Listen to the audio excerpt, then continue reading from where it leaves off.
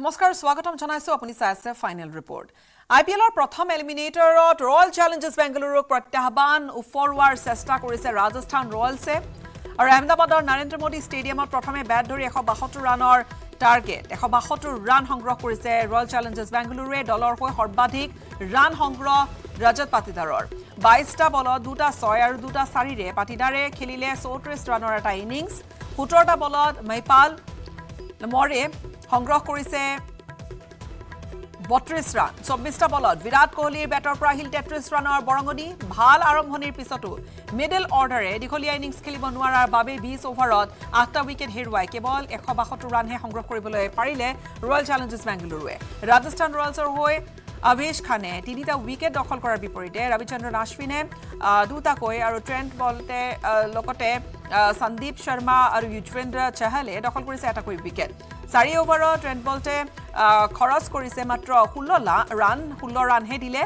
ৰবিচন্দ্ৰন আশ্বিনে চাৰি অভাৰত খৰচ কৰিছে ঊনৈছ ৰান ৰয়েল চেলেঞ্জাৰ্ছ বেংগালুৰুৰ এশ বাসত্তৰ ৰানৰ প্ৰত্যুত্তৰৰ ইনিংছ আৰম্ভ কৰি। ত্ৰিছটা বলত পঞ্চল্লিছ ৰানৰ আকৰ্ষণীয় ইনিংছ খেলিছে অপেনাৰ য়াশস্বী জয়ছৱালে দহ অভাৰত তিনিটা উইকেট পতন ঘটিছে ৰাজস্থানৰ ক্ৰিজলৈ আহিল। তাৰ পিছত অসম সন্তান ৰিয়ান পৰাগ আৰু অধিনায়ক সঞ্জু চেমছনৰ বিদায়ৰ পিছত ধ্ৰুৱ জুৱেলেৰে জুৱেলেৰৰ সৈতে যুটি বান্ধিছে ৰিয়ান পৰাগে।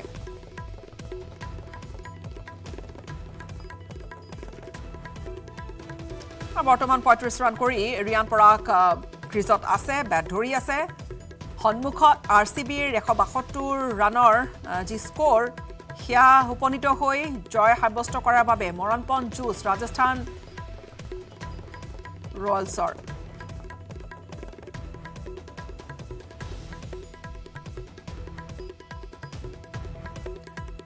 চৌব্বিছটা বলত ৰাজস্থানক ত্ৰিছ ৰানৰ প্ৰয়োজন এতিয়া। এই মেচখন জিকিবলৈ আৰ চি বিৰ বিৰুদ্ধে মৰণপণ যুঁজ। গুজৰাটত এই মেচখন অনুষ্ঠিত হৈছে। প্ৰথমে বেট ধৰি এশ বাসত্তৰ ৰান সংগ্ৰহ কৰিছে বেংগালুৰুৱে। চৌব্বিছটা বল আছে ত্ৰিছ ৰানৰ টাৰ্গেট। চৌব্বিছ বলত ত্ৰিছ ৰান সংগ্ৰহ কৰিব লাগিলে বা পাৰিলেই ৰাজস্থানৰ জয়।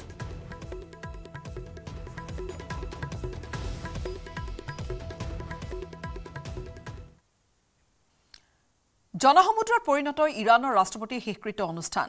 ডক্টৰ ছাইদ ইব্ৰাহিম ৰাইচিৰ অন্ত্যেষ্টিক্ৰিয়াত অনুষ্ঠিত যি এক কাৰ্যসূচী তাত সমবেত দহ লাখৰো অধিক লোক। সমগ্ৰ ইৰাণতে শোকাকুল পৰিৱেশৰ সৃষ্টি। বিমান দুৰ্ঘটনাত কৰুণ মৃত্যুক সাৱটি লোৱা ৰাষ্ট্ৰপতি ৰেচিক শেষ বিদায় জনাবলৈ তেহৰাণলৈ ঢাপলি মেলিছে লাখে লাখে গুণমুগ্ধ।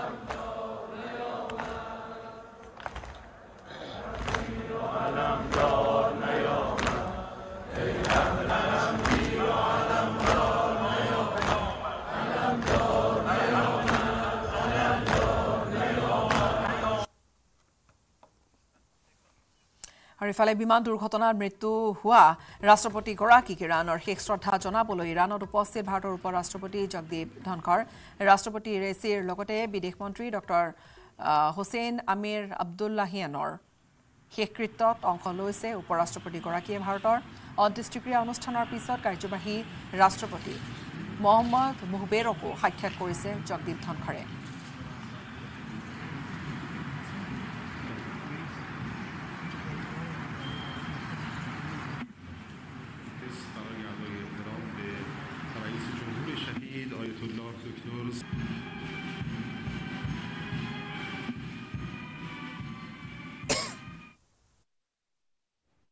গুৱাহাটীৰ বৰাগাঁৱত ভয়ংকৰ পথ দুৰ্ঘটনা। অচিনাক্ত দ্ৰুতবেগী বাহনৰ খুন্দাত পথচাৰী এগৰাকীৰ মৃত্যু ঘটিছে। ঘটনাস্থলীতে মৃত্যু ঘটা লোকগৰাকীৰ নাম হৈছে জয়ন্ত বড়ো। তীব্ৰবেগী বাহন এখনে মহতিয়াই নিলে জয়ন্ত বড়োক। জয়ন্ত বড়োক খুন্দিয়াই ঘটনাস্থলীৰ পৰা পলোৱাৰ চেষ্টা কৰিছিল গাড়ীৰ চালকে। কিন্তু স্থানীয় লোকৰ সহযোগত আৰক্ষীয়ে জব্দ কৰিছে গাড়ীখন। ৰাস্তা পাৰ হ'বলৈ লোৱাৰ সময়তে গাড়ীখনে জয়ন্ত বড়োক খুন্দিওৱাৰ সন্দেহ কৰিছে স্থানীয় লোকে। উল্লেখযোগ্য যে মঙলবাৰে সন্ধিয়া গড়চুকত সুৰামত চালকে মহতিয়াই নিছিল স্কুটিৰ দুগৰাকী আৰোহীক এগৰাকীৰ মৃত্যু ঘটিছিল। যুৱতী দুগৰাকী আছিল স্কুটিখনত এগৰাকীৰ ঘটনাস্থলীতে মৃত্যু ঘটিছিলে কুন্তি দাস নামৰ এপল' এক্সেল কেয়াৰ হাস্পতালত ছিকিউৰিটি গাৰ্ডৰ কাম কৰা যুৱতীগৰাকীৰ মৃত্যু ঘটিছিল থিতাতে।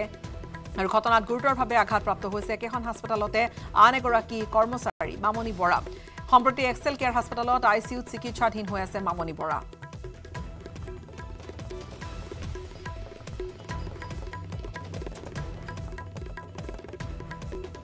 মৰাণ ফাণ্ডত পৰিণত হৈছে নেকি? গুৱাহাটী মহানগৰীৰ ৰাজপথ বিগত এটা সপ্তাহত পথ দুৰ্ঘটনাই প্ৰাণ কাঢ়ি নিছে পাঁচজনকৈ লোকৰ। দুহেজাৰ চৌবিছৰ ফেব্ৰুৱাৰী মাহৰ প্ৰথম সপ্তাহত মৃত্যু ঘটিছিলে এঘাৰজন লোকৰ। যান বাহন আৰক্ষীৰ গাফিলতিৰ বাবে মহানগৰীৰ ধাৰাবাহিক দুৰ্ঘটনা সংঘটিত হোৱাৰ অভিযোগ একাংশৰ। কিলাৰ হাইৱেত ধাৰাবাহিকভাৱে সংঘটিত হৈছে। এটাৰ পিছত আন এটা দুৰ্ঘটনাই আতংকিত কৰি ৰাখিছে মহানগৰীৰ দক্ষিণ পাৰৰ বাসিন্দাক আৰু মঙলবাৰে নিশাৰ যি ঘটনা মঙলবাৰে নিশাৰ দুৰ্ঘটনাৰ পিছতে গড়চুক আৰক্ষীয়ে গ্ৰেপ্তাৰ কৰিছে গাড়ী চালক কুমুদ বড়ো। লগতে গড়চুক আৰক্ষীয়ে জব্দ কৰিলে তিনিখনকৈ গাড়ী। ভাৰতীয় দণ্ডবিধি আইনৰ তিনিশ চাৰি দুশ আঠত্ৰিছ আৰু চাৰিশ বাইছ চাৰিশ সাতাইছ নম্বৰ ধাৰাত ৰুজু কৰিছে গোচৰ।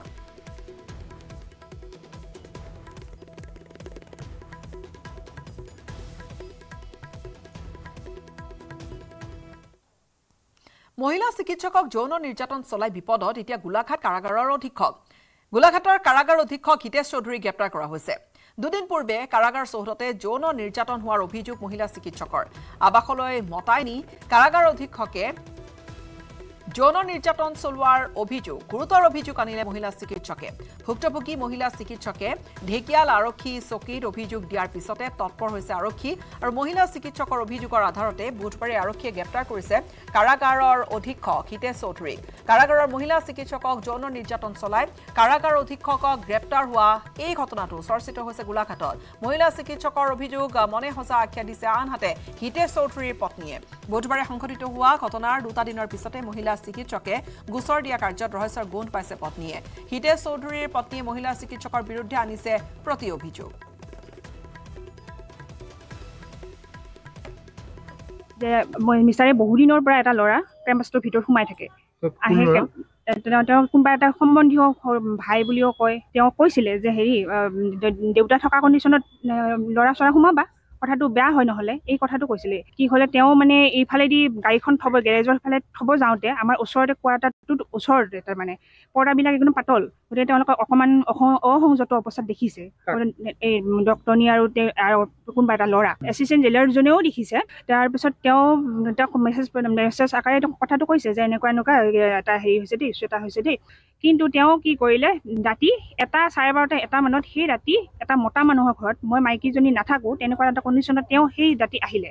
আহিয়ে কথা নাই নাই কান্দি কাটি আহি তেওঁ মিষ্টাৰক একদম গপা মাৰি ধৰিলে। কান্দি কাটি ক'ব ধৰিলে যে মোক এটা চিগাৰেট দিয়ক চিগাৰেট দিয়কচোন মই বিৰাট টেনশ্যন হৈছে মোৰ কি হ'ব কি নহ'ব? এনেকৈ মানে হেৰি কৰিলে। এওঁ বাৰু হেৰি কৰিলে যে অলপ সান্তনা দিলে বহিব দিলে। কিন্তু তেওঁ সোমাইছে তেওঁ সোমাই তেওঁক গপা মাৰি ধৰিছে। আৰু আৰু এটা কথা তেওঁক যদি গপা মাৰি ধৰিছে তেওঁক যদি কিবা ছেক্সুৱেল হেৰাচমেণ্টে কৰিছে তেওঁক চিঞৰিলে হয় মই মোৰ ল'ৰাটো মই অলপ জৰ জৰকৈ পৰালে মই আমাৰ সেই যিটো চিকিউৰিটি গাৰ্ড আমাৰ একদম কি চলে ইফালে গুৱাহাটী কেন্দ্ৰীয় কাৰাগাৰত? কাৰ আশীৰ্বাদত জেলতে আতিথ্য লাভ কৰিছে দাগী অপৰাধীয়ে? জেলৰ বন্ধ কোঠাত আবদ্ধ কয়দীৰ পৰা কেইবাটাও মোবাইল ফোন উদ্ধাৰ হোৱা ঘটনাটোৱে উদঙাই দিছে জেলৰ ভিতৰৰ কিছু অৰাজকতা। গুৱাহাটী কেন্দ্ৰীয় কাৰাগাৰত চলিছে উৎপল পৰিণীতাৰ ৰাজ। জেলৰ বন্ধ কোঠাৰ পৰা অভিযুক্তই নিয়ন্ত্ৰণ কৰিছে অপৰাধ সাম্ৰাজ্য। নিৰাপত্তাত বৃহৎ সুৰুঙা দাগী অপৰাধীক V I P V V I P আতিথ্য। টকা দিলেই যেন এতিয়া সকলো সম্ভৱ এইখন গুৱাহাটীৰ কেন্দ্ৰীয় কাৰাগাৰত। হয় দুৰ্ধৰ্ষ কুখ্যাত দাগী অপৰাধীক V I P V V I পিৰ আতিথ্য দিবলৈ ৰগা দলিচা পাৰি দিয়াত ব্যস্ত এই দুগৰাকী জেল অধীক্ষক। অসম আৰক্ষীয়ে অতি কষ্টৰে ধৰি দিয়া হাই প্ৰফাইল অভিযুক্তক এতিয়া কেন্দ্ৰীয় কাৰাগাৰত দিয়া হৈছে ৰাজ আতিথ্য। জেল অধীক্ষক উৎপল দুৱৰা পৰিণীতা বৰাৰ কৃপাত হৈ উঠিছে এয়া সম্ভৱ। এইখনেই লখৰাত থকা কেন্দ্ৰীয় কাৰাগাৰত এতিয়া চলিছে ভীষণ অৰাজকতা। কাৰাগাৰৰ বন্ধ কোঠৰীৰ পৰাই যোগাযোগ ৰক্ষাত সফল হৈছে দাগী অপৰাধী। পাঁচ নম্বৰ ৱাৰ্ডত ড্ৰাগছ মাফিয়া দেৱাঞ্চলৰ পৰা ওলাল পাঁচটাকৈ এণ্ড্ৰইড মোবাইল। পানী নসৰকা কাৰাগাৰত সুৰক্ষাৰ ব্যৱস্থাৰ প্ৰতি অহা বৃহৎ ভাবুকিক লৈ এতিয়া সৃষ্টি হৈছে প্ৰশ্নৰ জেলত থকা শ শ কয়দী হাজোতিক লৈ চলি অহা বিয়াকুম চিণ্ডিকেট ৰাজৰ ভয়ংকৰ তথ্য আহিছে এতিয়া পোহৰলৈ। হত্যাত অভিযুক্ত অমৰেন্দ্ৰ সিঙৰ হাতৰ পৰা ওলাল মোবাইল ফোন। কেন্দ্ৰীয় কাৰাগাৰৰ ভিতৰত থাকিও অপৰাধৰ সাম্ৰাজ্য নিয়ন্ত্ৰণ কৰাত এতিয়া সফল হৈছে অপৰাধী। প্ৰায় ওঠৰশ কয়দী হাজোতিৰে ভৰি থকা কাৰাগাৰখনত এতিয়া চলিছে কি? পৃথকে কোৱাৰেণ্টাইনত থকাৰ নামত কয়দী হাজোতিৰ পৰা বৃহৎ ধন সংগ্ৰহ জেলত ড্ৰাগছ সুৰাৰ অবাধ যোগান বৃহৎ টকাৰ লেনদেন। চেণ্ট্ৰেল জেইল অধীক্ষক এইগৰাকী উৎপল দুৱৰাৰ আশীৰ্বাদত সম্ভৱ হৈ উঠিছে এয়া। আৰু লগত থকা এয়া পৰিণীতা বৰা। শদিয়া সোণাৰী কাৰাগাৰ এৰি কোনো জাননী অবিহনে গুৱাহাটী কাৰাগাৰত নিযুক্ত হৈ থকা পৰিণীতাৰ পৰিচালনাতে চেণ্ট্ৰেল জেলত দুৰ্নীতি চলি থকাৰ এতিয়া উত্থাপন হৈছে অভিযোগ। নিউজ এইটিনৰ পৰৱৰ্তী প্ৰতিবেদনত ফাদিল হ'ব গুৱাহাটী কেন্দ্ৰীয় কাৰাগাৰত দীৰ্ঘদিনে চলি অহা দুৰ্নীতি ৰাজৰ আন এক শিহৰিত কলা অধ্যায়।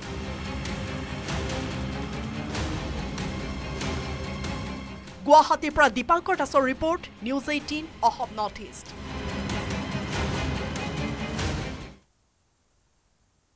উত্তৰ পূবৰ বেংকিং খণ্ডৰ এটা ডাঙৰ খবৰ North East Small Finance Bank চম্ভালিব এতিয়া বেংগালুৰুৰ প্ৰতিষ্ঠানে।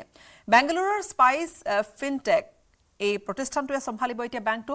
ইতিমধ্যে দুয়োপক্ষৰ মাজত সম্পন্ন হৈছে বুজাবুজি চুক্তি। বেংকটোৰ বৰ্ড অফ ডিৰেক্টৰ্ছত স্পাইচ ফিনটেকৰ প্ৰতিনিধি শীঘ্ৰেই দুয়োপক্ষই আনুষ্ঠানিকভাৱে এই কথা ঘোষণা কৰিব। স্পাইচ ফিনটেকে দায়িত্ব ল'লে একেই থাকিব অৱশ্যে বেংকটোৰ নাম নৰ্থ ইষ্ট স্মল ফিনান্স বেংকৰ নামতেই চলি থাকিব বেংকিং। একেদৰে ব্যৱসায়িক দিশত বিপদত পৰিছে বা বিপদত আছে অসম গ্ৰামীণ বিকাশ বেংক চৰকাৰৰ সহায়ত সম্প্ৰতি চলি আছে অসম গ্ৰামীণ বিকাশ বেংক। বিপৰ্যস্ত হৈ পৰিছে উজ্জীৱন ফিনান্স লগতে বিপদত থকা বন্ধন বেংকত শেহতীয়াকৈ কিছু ধনৰ বিনিয়োগ অৱশ্যে হৈছে।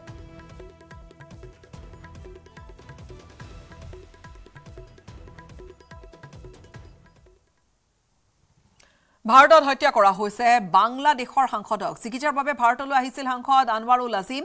আৰু কলকাতাৰ ফ্লেটত উদ্ধাৰ কৰা হৈছে ক্ষত বিক্ষত মৃতদেহ। খণ্ড বিখণ্ড অৱস্থাৰ মৃতদেহ উদ্ধাৰ কৰা হৈছে। কেইবা টুকুৰা কৰা হৈছিলে। ঘাতকে কেইবা টুকুৰা কৰিছিলে সাংসদগৰাকী সাংসদ আনৱাৰুল আজিমৰ দেহ উদ্ধাৰ কৰা। এই ধৰণৰ অৱস্থাত উদ্ধাৰ কৰাৰ পিছতে স্বাভাৱিকতে বহু প্ৰশ্ন উত্থাপন হৈছে। কলকাতা আৰক্ষীয়ে উদ্ধাৰ কৰিছে মৃতদেহ। আৰু লগতে বাংলাদেশ আৱামী লীগৰ নেতা যিহেতু আনৱাৰুল তিনিবাৰৰ সাংসদ কোনে হত্যা কৰিলে? এয়া পৰিকল্পিত এটা হত্যাকাণ্ড বুলি মন্তব্য কৰিছে বিভিন্নজনে।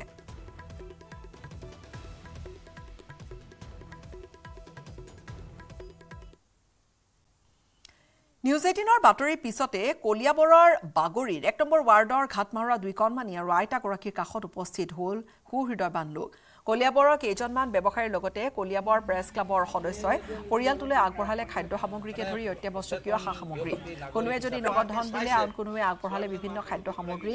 আনহাতে পৰিয়ালটোৰ জৰাজীৰ্ণ ঘৰ মেৰামতি কৰি দিয়াৰ দায়িত্ব ল'লে কলিয়াবৰৰ এগৰাকী উদ্যোগীয়ে। উল্লেখযোগ্য যে উৰুষা পজাত আইতাকৰ সৈতে দি থৰুৱা দুই কণমানিৰ জীৱন সংগ্ৰামৰ কাহিনী নিউজ এইটিন অসম নৰ্থ ইষ্টত সম্প্ৰচাৰিত হৈছিল। জৰাজীৰ্ণ এই ঘৰটোত এসাঁজ খাই এসাঁজ লগতে থাকি শিক্ষাৰন্তি পোহৰো বিলোৱাৰ চেষ্টা কৰিছিল আইতাকে। জৰাজীৰ্ণ ঘৰটোত শুবলৈ নাই বিচনা বৰষুণ আহিলে টিনপাতেৰে ঘৰৰ ভিতৰত পানী সোমায় বৰষুণৰ পানী পৰে। মঙলবাৰে নিউজ এইটিনত এই বাতৰি সম্প্ৰচাৰ হোৱাৰ পিছত আজি পৰিয়ালটোৰ কাষত এইসকল সুহৃদয়বান লোক থিয় হৈছে সহায়ৰ কিছু হাত আগবঢ়াইছে। দুৰ্ভগীয়া এই পৰিয়ালটোৰ কাষত থিয় হৈ সহায় কৰা এইসকল সুহৃদয়বান ব্যক্তিৰ শলাগ লৈছে বহু সচেতন লোকে। আজি কুঠুৰী পঞ্চায়তৰ অন্তৰ্গত বাগুৰি গাঁৱৰ এটি দৰিদ্ৰ পৰিয়ালৰ যি দুৰ্দশা কণমানি দেৱ শিশু দুটিৰ যি পিতৃ মাতৃহাৰা তেওঁলোকে এই পিতৃ মাতৃহাৰা সেই সন্তান দুটি তেওঁলোকৰ আইতাই আঁকোৱালি লৈ তেওঁলোকক ভৰণ পোষণ দি আছিলে বুলি আমি বাগৰিবাসী ৰাইজে জ্ঞাত হৈছিলোঁ। আৰু সেই গতিকে আমি বাগৰিবাসীৰ তৰফৰ পৰা আমি এই সাংবাদিক বন্ধুসকলক নিমন্ত্ৰণ কৰিছিলোঁ আৰু তেখেতসকলে আহিছিল আৰু তেখেতসকলে সাংবাদিকৰ দ্বাৰা জনসমাজত প্ৰচাৰিত কৰিছিল আৰু সেই প্ৰচাৰিত হোৱাৰ পিছৰ পৰা এই দুখীয়া পৰিয়ালটিক বহু ব্যক্তি আহি পেলাই তেওঁলোকৰ সামৰ্থ্য অনুযায়ী এই দুখীয়া পৰিয়ালটিক আৰ্থিকেই হওক বস্তু বাহিনীৰে হওক তেওঁলোকে সহায় যথেষ্টখিনি আগবঢ়াইছে। আমি আনন্দিত হৈছোঁ। লগতে সাংবাদিক বন্ধুসকলেও এই দুখীয়া পৰিয়ালটিক যথেষ্টখিনি সহায় কৰিছে। যিখিনি তেওঁলোকৰ সামৰ্থ্য অনুযায়ী টকা পইচাও দিছে খাদ্য বস্তু দিছে। লগতে আমাৰ ব্যৱসায়িক বিশিষ্ট ব্যৱসায়ী আমাৰ কুঠৰীৰে এজন সুযোগ্য সন্তান আতাউৰ ৰহমান তেখেতেও এই ঘৰটো যিখিনি যাৱতীয় খৰচ বনাবলৈ তেখেতে দিম বুলি প্ৰতিশ্ৰুতি দিছে আমাক এই দুখীয়া পৰিয়ালটিক যথেষ্টখিনি সহায় সহযোগ কৰিছে। আমি আমি আমি আমাৰ ফালৰ পৰা ধন্যবাদ জ্ঞাপন কৰিছোঁ। মুহূৰ্তৰ এক ব্ৰেকিং নিউজ পুনে পৰ্চে কাণ্ডই লৈছে নতুন পাক মূল অভিযুক্তৰ জামিন বাতিল কৰা হৈছে। পোন্ধৰ ঘণ্টাৰ ভিতৰতে জামিন লাভ কৰিছিলে। কিশোৰ অভিযুক্তই কিন্তু তাৰ পিছত এতিয়া মূল অভিযুক্তৰ জামিন বাতিল হৈছে। পাঁচ জুনলৈকে এতিয়া শিশু নিৰীক্ষণ কেন্দ্ৰত থাকিব লাগিব অভিযুক্ত নাবালকটিয়ে নাবালকজনে এখন দামী গাড়ী কোনো ধৰণৰ ড্ৰাইভিং লাইচেঞ্চ নাছিলে বয়সো আনকি হোৱা নাছিলে। নাবালকজনে সেই পৰ্চে বাহনখন চলাই আহি দুজনক মুহূৰ্ততে দুজনৰ জীৱন কাঢ়ি নিছিল। দেৱেন্দ্ৰ ফাডনাবিছৰ আৰ্জিত অনুমোদন জনালে জুভেনাইল আদালতে। সোতৰ বছৰীয়া ধনীৰ দুলালে বাহনেৰে খুন্দিয়া হত্যা কৰিছিলে এই দুই অভিযন্তাক এই ঘটনাটোক লৈ আচলতে ব্যাপক চৰ্চা। প্ৰশ্ন বহুখিনি উত্থাপন হৈছিলে। পিতৃক ইতিমধ্যে গ্ৰেপ্তাৰ কৰা হৈছে। পিতৃক ন্যায়িক জিম্মালৈ প্ৰেৰণ কৰা হৈছে মূল অভিযুক্তৰ জামিন বাতিল হ'ল। আৰু এতিয়া মূল অভিযুক্ত আহ, শিশুগৃহলৈ প্ৰেৰণ কৰা হৈছে। আৰু লগতে মূল অভিযুক্ত গৰাকীক আচলতে যিহেতু ইতিপূৰ্বে বহুখিনি চৰ্ত জুভেনাইল জাষ্টিছ বৰ্ডে বান্ধি দিছিল পাঁচ জুনলৈকে এতিয়া শিশু নিৰীক্ষণ কেন্দ্ৰত থাকিব লাগিব অভিযুক্ত নাবালকে।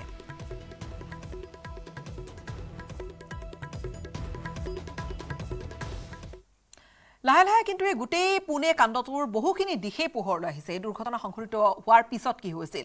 দুগৰাকীকৈ মেধাৱী অভিযন্তা মাত্ৰ চৌব্বিছ বছৰৰ আছিল দুয়োজন তেওঁলোকৰ মুহূৰ্ততে প্ৰাণ কাঢ়ি লৈ গৈ ধনীৰ দুলালৰ তাৰ পূৰ্বৰ যি নৈশ বিলাসৰ আঁৰৰ কাহিনী সেইবোৰ শুনিলে চকু কপালত উঠিব আপোনাৰ।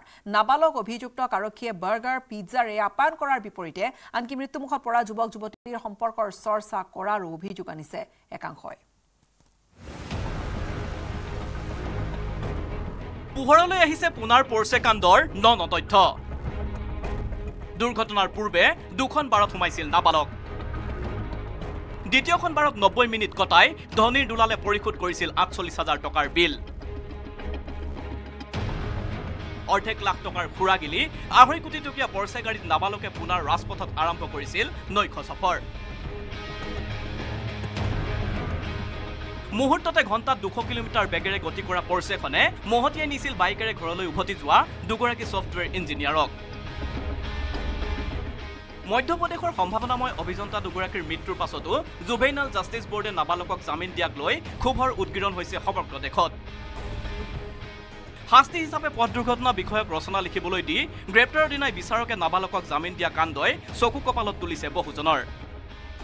নব্বৈ মিনিটত আঠচল্লিছ হাজাৰ টকাৰ সুৰাপান কৰি আঢ়ৈ কোটি টকীয়া গাড়ীৰে দুজন সম্ভাৱনাময় যুৱক যুৱতীক হত্যা কৰা নাবালকক সাবালক হিচাপে গণ্য কৰাৰ আৰ্জি মহাৰাষ্ট্ৰৰ উপ মুখ্যমন্ত্ৰী দেৱেন্দ্ৰ ফাডনাবিজৰ পৰ্চে কাণ্ডৰ সোতৰ বছৰ আঠমহীয়া খলনায়কৰ বিৰুদ্ধে সাবালক লোকৰ দৰে আইনী প্ৰক্ৰিয়া চলাবলৈ জুভেইনেল জাষ্টিছ বৰ্ডক আহ্বান মুম্বাই পুলিচৰ।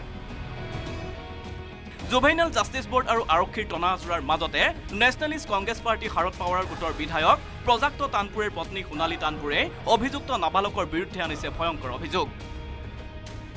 একেখন স্কুলত পঢ়ি থকা কালত পৰ্চে কাণ্ডৰ অভিযুক্তই পুত্ৰৰ ওপৰত নিৰ্যাতন চলোৱাৰ অভিযোগ বিধায়ক পত্নীৰ।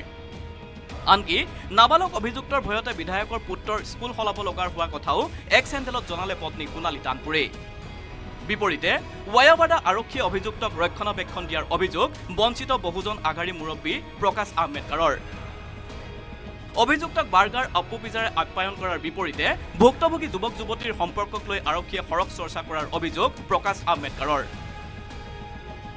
অৱশ্যে পৰ্চে কাণ্ডত আৰক্ষীয়ে গ্ৰেপ্তাৰ কৰিছে নাবালক পুত্ৰক আঢ়ৈ কোটি টকীয়া গাড়ী কিনি দিয়া ৰিয়েল ষ্টেট ব্যৱসায়ী বিশাল আগৰৱালাৰ লগতে নাবালকক সুৰাপান কৰিবলৈ দিয়া দুখন বাৰৰ চাৰিজন লোকক।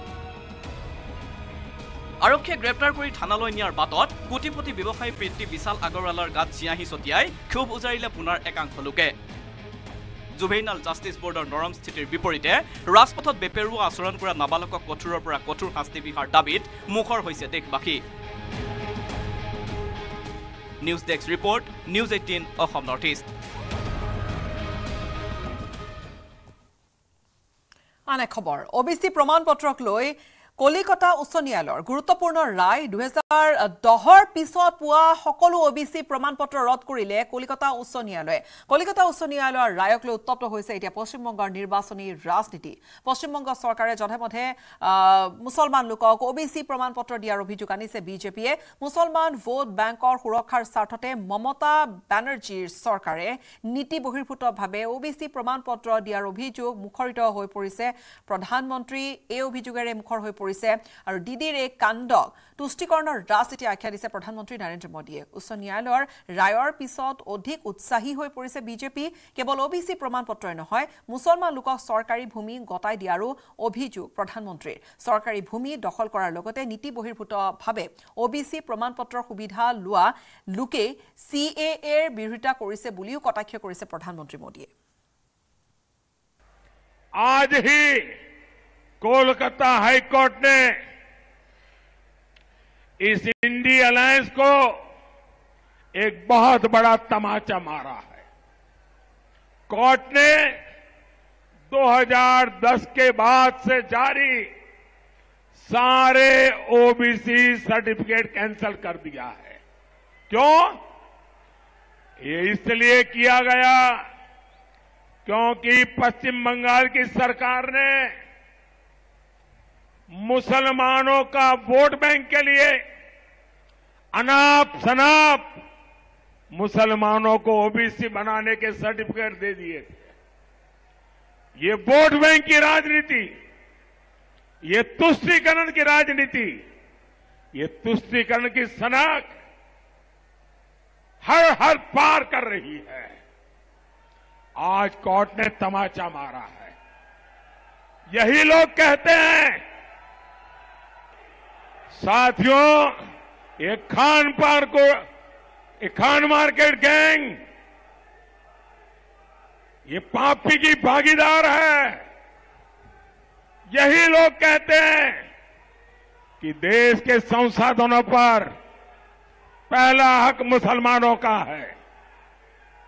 ये लोग लगातार सरकारी जमीनें वकफ बोर्ड को दे रहे हैं, बदले में वोट मांग रहे हैं।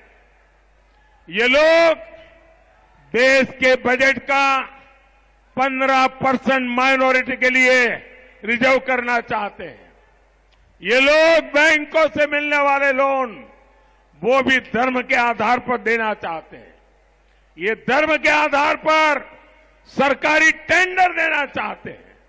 ये धर्म के आधार पर स्पोर्ट्स में खिलाड़ियों की एंट्री करवाना चाहते हैं।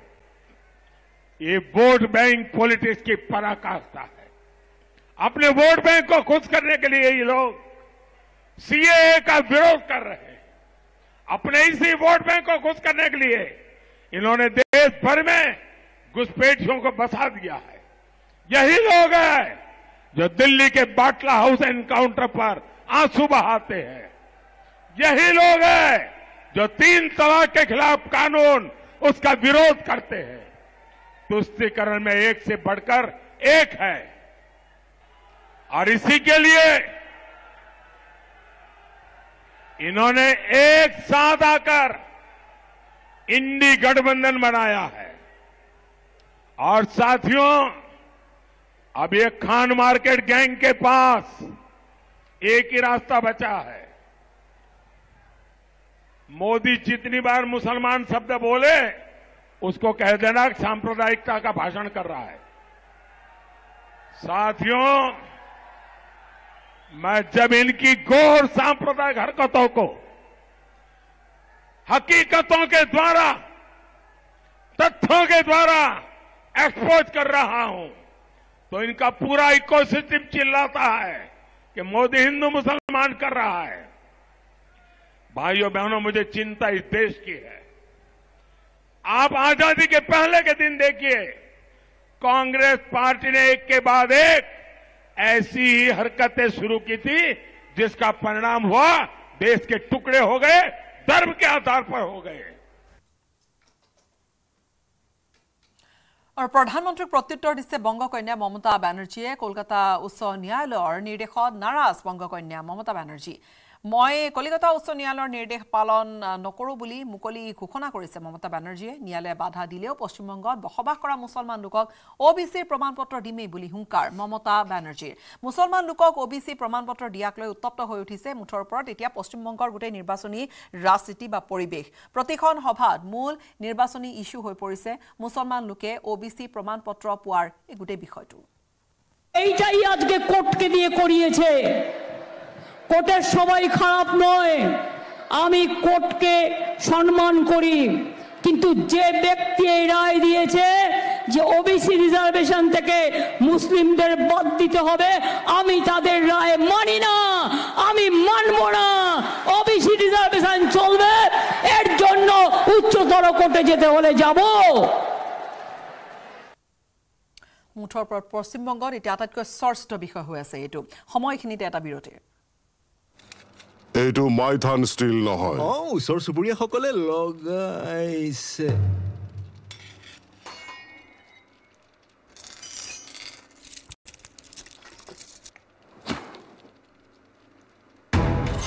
ষ্ট্ৰং মানে? মাইথান ষ্টীল। কাৰেক্ট